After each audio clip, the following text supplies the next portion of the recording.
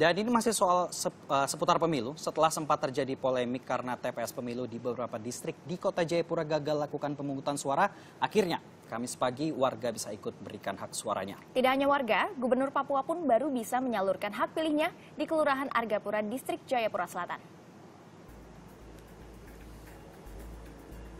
195 warga pemilik hak suara di Kelurahan Argapura, Distrik Jayapura Selatan, Papua akhirnya bisa ikut berikan suara di TPS 43. Meski sudah bisa dilakukan pemungutan suara susulan, warga datang bergiliran sehingga situasi TPS tampak sepi karena cuaca hujan. Tapi menjelang siang ini sudah mulai sepi, apalagi hujan ya? cuaca kurang mendukung hujan. Lalu eh, sekarang kita karena sudah sepi kita melayani KTP. Sementara itu ditemani istrinya Gubernur Papua Lukas NMB tiba di TPS 43 untuk berikan hak pilihnya. Pemungutan suara di tempat Gubernur Papua terdaftar sempat tertunda satu hari karena masalah pendistribusian logistik pemilu. Dan di Provinsi Papua terdapat empat kabupaten dan satu kota yang terpaksa melangsungkan pemilu susulan.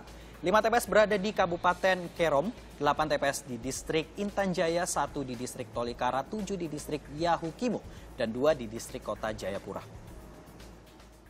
Ya, tapi kita sayangkan kalau kalau bisa mereka bisa datang memberikan suara untuk memilih pemimpin di negeri ini, memimpin Presiden Republik Indonesia maupun untuk legislatif, baik DPR RI, DPRD RI, DPR Papua dan DPR Kabupaten Kota.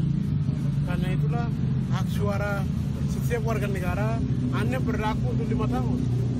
Oleh karena itu Anda jangan Menanggapi hal ini, Ketua KPU Arief Budiman mengaku belum mendapat laporan terkait berapa TPS yang telah melaksanakan pemungutan susulan. Namun dirinya meminta petugas TPS selesaikan pemungutan suara tersebut sebelum berikan laporan. Kita sudah minta dilaksanakan hari ini. Uh, up, ya di 2200 uh, 29 2229 2229 ya. Udah kita minta dilaksanakan hari ini. Ya kami belum dapat reportnya. Kan biasanya susulan itu kan hari ini mereka kerjakan terus. Kalau masih disibukkan suruh lapor tidak ada laporannya pak. Ya mereka akhirnya sibuk lapor nggak kerjakan tugasnya gitu loh.